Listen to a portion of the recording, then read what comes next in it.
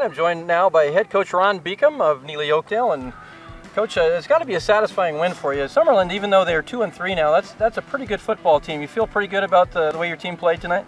I really do. You know, I, I, the biggest thing I really like is I felt our kids competed.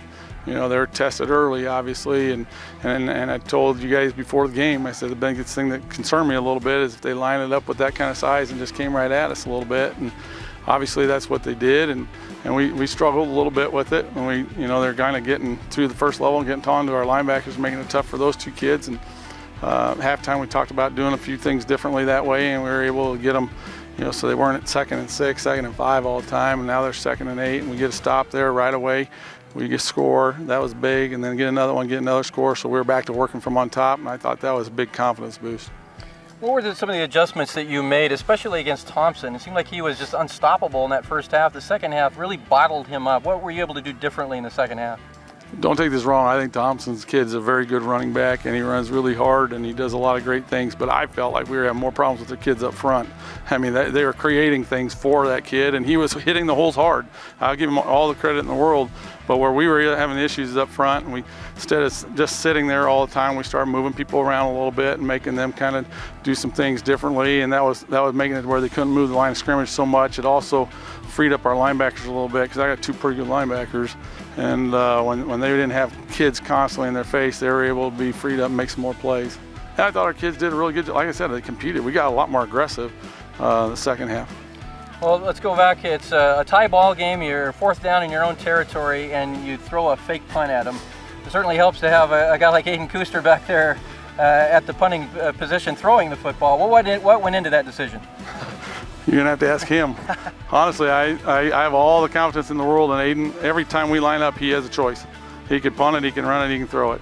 that particular play, um, he chose to throw it, and I, I didn't put the brakes on him because um, I know that he makes good decisions, and you know, for him to throw it and have Carson on the other end of it, I felt pretty good about that situation also. So about the decision, you're going to ask have to ask him because it was his decision. He made a good one and he made a play. And you know, I tell the kids a lot that you know, big time players make big time plays and big time games. And at that particular moment, that was a big time, and, and our, our big time player stepped up. Absolutely, that's got to be a luxury to have a player you trust like that.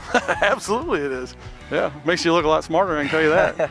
so now you had uh, you got some tough games, very difficult district, and, and probably some under the radar teams too. Uh, much like Summerland, they're a little better than what the record shows. What do you see as, uh, do you like where you're at as a team? What do you see that maybe you'd like to see improve as you get uh, later into the into the year? I like where we're at. I think we're doing, you know, a lot of good things. We're playing a lot of young kids up front, and each week they just get a little better. They start to understand a little bit better what it is we're trying to do. Um, we've been tested in a lot of different ways. Um, you know, lost Burwell helped us kind of realize that, you know, our practices had to change a little bit, and, and I think we've done that. And um, you know, I, am like I said, I'm proud of the way they compete. I think, I think I kind of noticed in practice the last couple weeks that we our, our our competition level in practice is better, our focus is better. So I like all those things. You know, quite honestly, we have to continue to get better, and those kids up front have to realize that it doesn't matter what grade you're in. If you're playing on a Friday, you're a varsity player, and uh, and compete that way. And and hopefully we'll get one or two kids back, and I think that'll help us too. Absolutely. Well, Coach, congratulations on a big win tonight. Thanks so much for joining us. Uh, thank you so much for having us.